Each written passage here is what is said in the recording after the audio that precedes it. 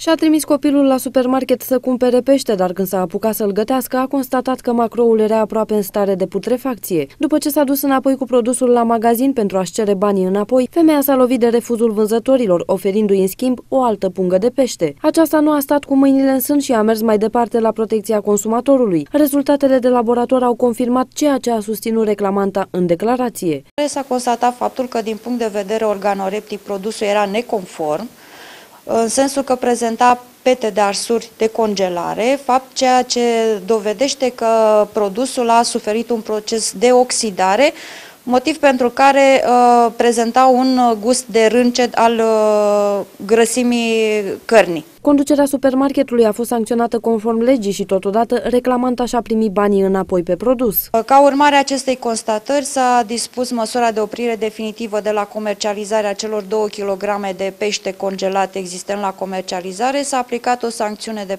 4.000 de lei operatorului economic, iar uh, ca măsură reparatorie pentru petent s-a dispus măsura de restituire contravalorii acestui produs achiziționat neconform.